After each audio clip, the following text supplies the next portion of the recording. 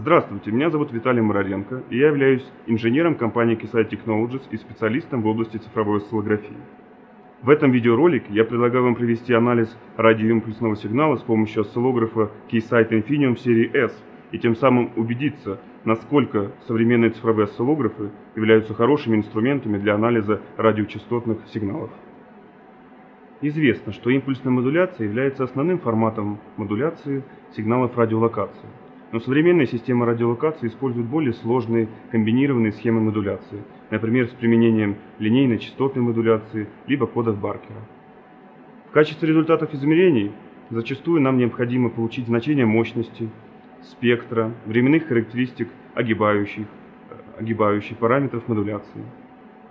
Традиционно с задачей анализа радиоимпульсных сигналов справлялись анализаторы спектра, но современные осциллографы имеют повышенные характеристики, что позволяют использовать эти, эти приборы для анализа радиочастотных сигналов. При подборе инструмента анализа, конечно, нужно обратить внимание на три параметра. Первый – это частотный диапазон для детектирования несущей частоты. Второй – это э, полоса анализа. И третий – динамический диапазон. Сейчас я хочу представить измерительную систему, которая находится передо мной. Во-первых, это генератор радиосигналов серии PSG E8267D метрологического качества. Второй – это генератор сигналов произвольной формы с полосой до 5 ГГц. И цифровой осциллограф Infinium серии S с полосой пропускания 8 ГГц.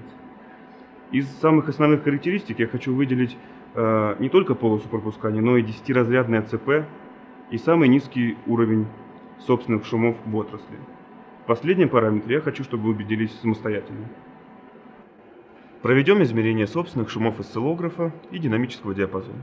Чтобы измерить динамический диапазон осциллографа, нужно выбрать такую шкалу, при которой сигнал максимально растянут по вертикали.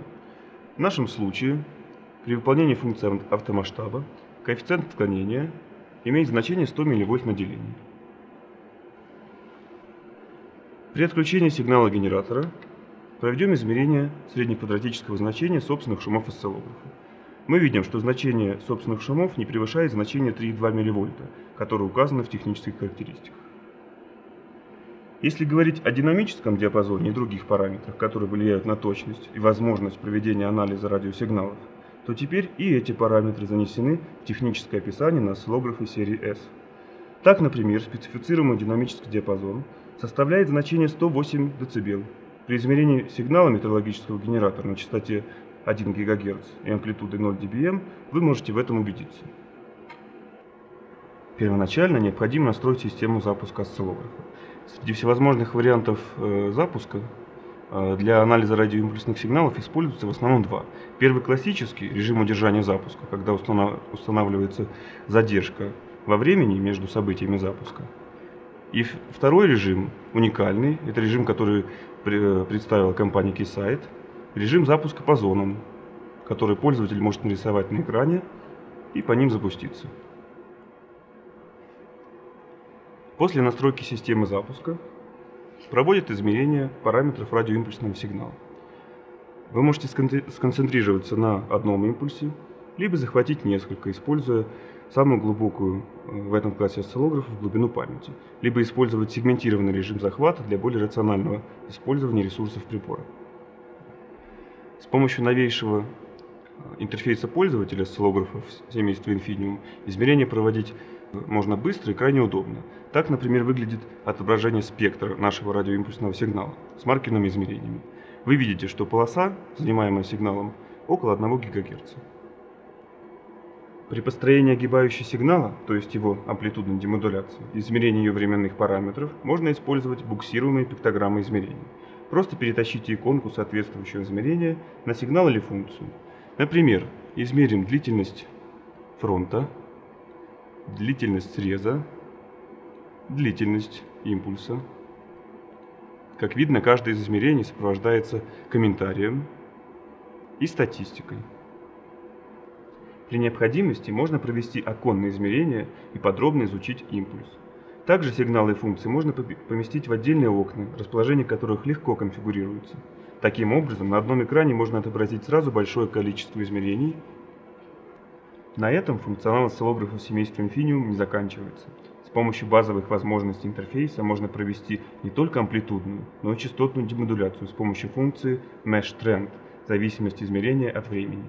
Таким образом, мы можем оценить характер модуляции внутри импульса.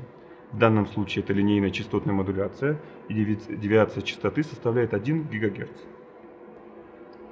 С помощью функций возможностей этой программы вы с легкостью проанализируете и демодулируете радиосигнал. Сейчас вы видите спектр сигнала, его представление во временной области, а также зависимость частоты от времени и фазы от времени. И вы по этим результатам также можете определить характер модуляции сигналов. А с помощью специальной опции анализа радарных сигналов вы сможете получить всю исчерпывающую информацию о радиоимпульсах с мощным набором статистической информации по каждому из импульсов. Итак, мы произвели анализ радиоимпульсного сигнала на несущей частоте 2 ГГц с внутриимпульсной линейной частотной модуляцией. Если вам не хватает базовых возможностей осциллографа серии S, Keysight Technologies предлагает мощный инструмент анализа – программу «Векторный анализ сигналов» VSA 89601B. Уверен, вы убедились, что осциллографы нашей компании являются превосходными инструментами для анализа радиочастотных сигналов и базовые возможности графического интерфейса, и интеграция прибора с программой векторный анализ сигналов позволяет получить подробнейшую информацию об исследуемом сигнале. Спасибо за ваше внимание и уделенное время. Любую дополнительную информацию вы можете найти в разделе «Осциллографы» нашего сайта или обратиться в российский контакт-центр или к нашим специалистам. Удачи в ваших измерениях!